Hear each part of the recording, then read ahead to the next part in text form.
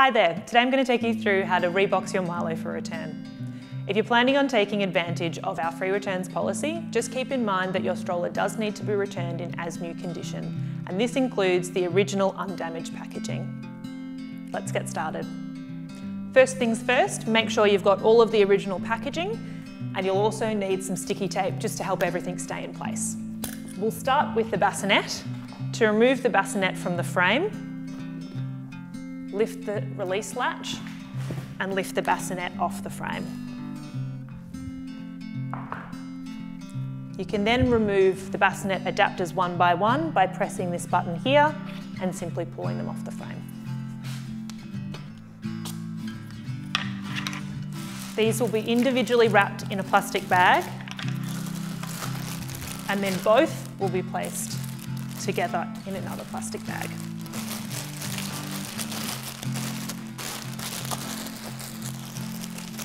To repack the bassinet, we first remove the bassinet cover, pull the canopy down by pressing the two buttons internally, and remove the liner and mattress. Pull the fabric tabs back towards the centre to collapse the bassinet.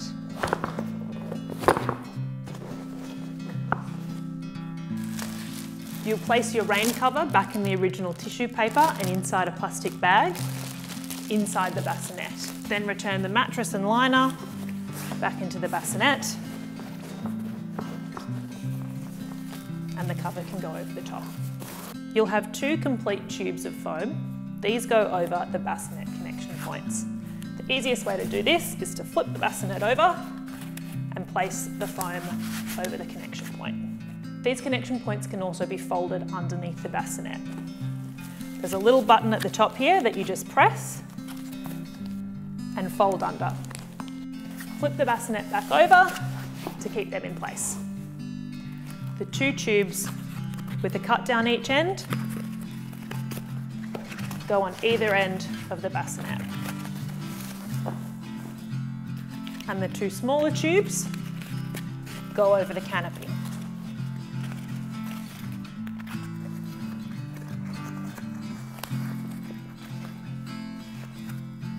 Final piece of foam sits right in the middle. And now you can put the whole thing back into the plastic bag.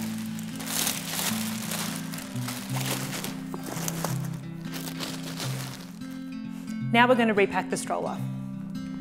So put the bassinet aside and put the stroller seat back on the frame. It's easiest if you put the stroller seat back on the frame in forward facing position. Make sure the belly bar is not attached and is placed into the protective foam. The harness covers should stay attached to the seat. Place the belly bar inside the seat and fold it up. At this stage, you can also put the UV cover and the manual into the seat to keep them in place. We'll next remove the wheels. To remove the front wheels, just press the button and pull.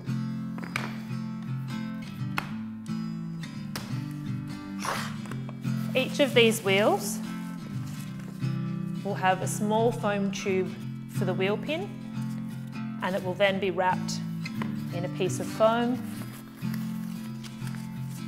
before being wrapped in the bubble wrap bag. You'll need to use some sticky tape here just to secure the packaging.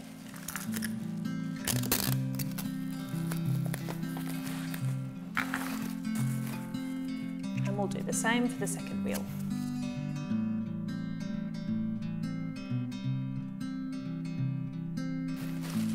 These wheels can just be placed inside the basket. To remove the rear wheels, just press the button on the rear axle and pull out.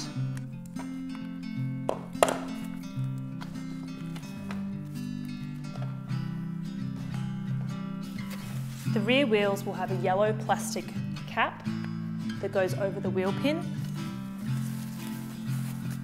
Then they'll also get wrapped in the foam sheet before being placed inside the bubble wrap.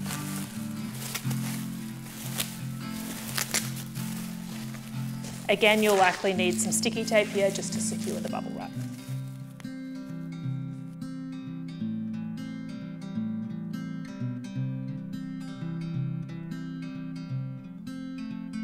We're next going to wrap the front wheel hubs. These just get wrapped in the foam and again secure with a little bit of sticky tape.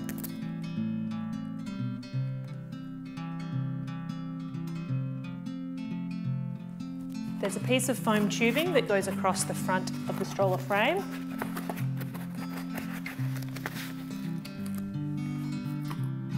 And we'll secure the rest of the foam tubing to the handlebar. Just make sure the handlebar is in the lowest position and locked into place.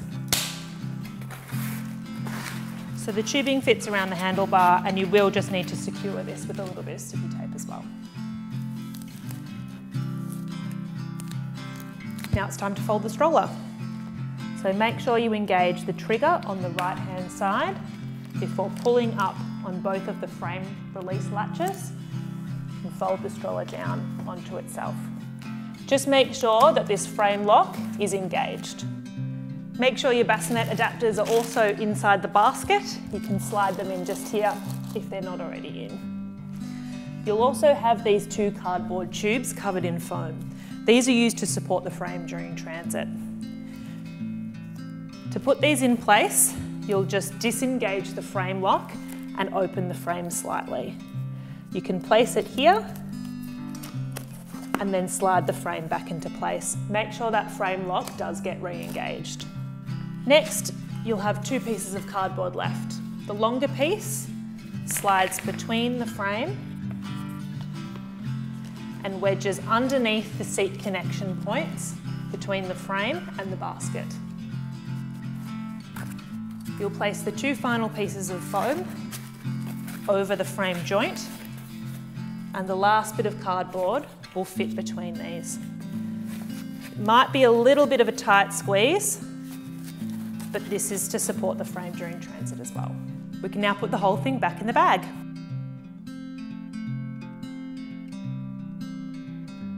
Before placing the stroller back in the box, you'll have two pieces of foam. These are to protect these ends when they're in the base of the box. So we'll put these, the bassinet will sit with the canopy end on the canopy end of the stroller, just on top. Once it's about halfway, you can tip the box up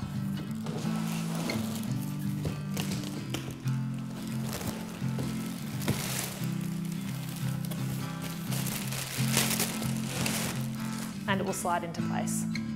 The final piece of cardboard fits into the box at the end of the rear axle.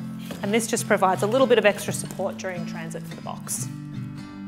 Tape up the box and you're ready to send it back.